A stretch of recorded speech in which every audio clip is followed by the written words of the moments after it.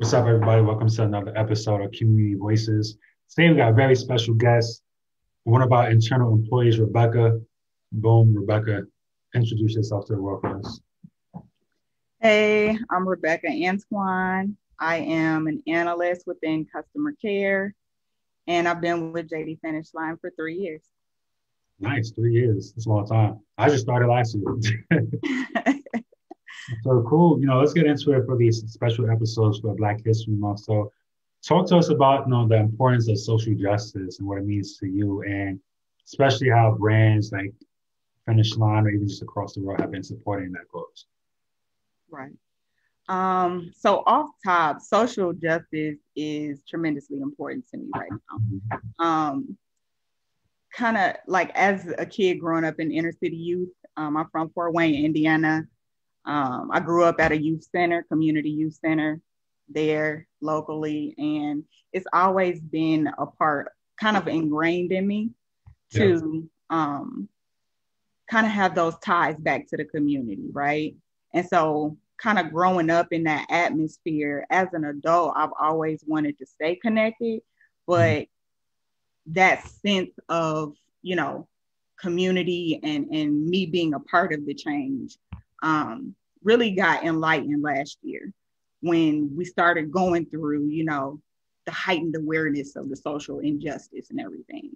Right. Um, so it just caused me to want to kind of tap back into my roots and find ways that even just on my level, you know, um, day to day, um, just get involved like any way possible that I mm. can support that fight, whether it's through awareness, whether it's through volunteering, whether it's through donations, um, things like that. Um, so for me, that's where the fight for me starts.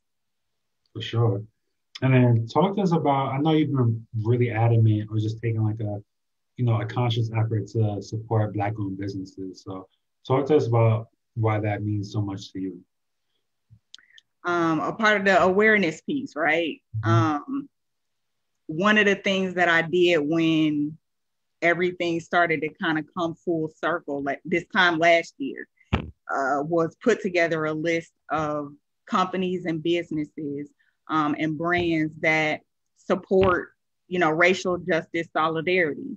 And mm-hmm. I shared that with, you know, my team members amongst leadership within my JD Finish Line family, as well as with, you know, my family, my peers, uh, my friends, um, just to get them educated. You know, a lot of times when things like this happen, it's not that people don't want to know. Um, I think it's just that they don't know. And education, educating people on it, um, really brings awareness to the to the bigger issues. So, mm-hmm. kind of creating that list of companies and organizations that are in support of this fight was for me the initial step. And then from there, it was kind of like getting the ball rolling. Like I support Black owned businesses and minority owned businesses. I try to strategically um, and consciously support them consistently um, on a monthly basis, whether it's, you know, visit, visiting TJ's Sweet Tooth, um, you know, on the north side of town locally, or, you know, R&R Extreme Wings, or, you know, Chef Tia's. Um, just try to, you know, I don't know those restaurants, but they sound good. I mean, they locals here in Indianapolis, you know mm-hmm. what I mm-hmm. mean? But um, even on a on a US scale, you know, I strategically, you know, try to support black owned businesses, even to the point of buying like the end systemic racism, the ESR tote from Brandon Blackwood, who's in New York City, his brand, you know, just doing things like that to support and empower our culture. Mm-hmm. and just again using a platform like social media to share about these things and engage and empower um, and bring support to that you know their platforms. Um, mm-hmm. because this is we we need allies right? We need allies. We need to bridge the gap of misunderstanding. For sure. Even uh, last week when we had Charlamagne he mentioned like just be equity and having access to like capital really makes us, you know, brings us as far as closing that financial gap. So being able doing what you're doing and support, supporting like black owned businesses goes a long way, especially when it comes to people who come from communities like you and I and go and you know just give them access to capital. So yeah, that's something I try to do as well and make a conscious effort doing too. So last question for you is I know you've been you know doing a lot of volunteering. So talk to us about some of the organizations you've been working with. So volunteering, of course, true to my JD Finish Line family.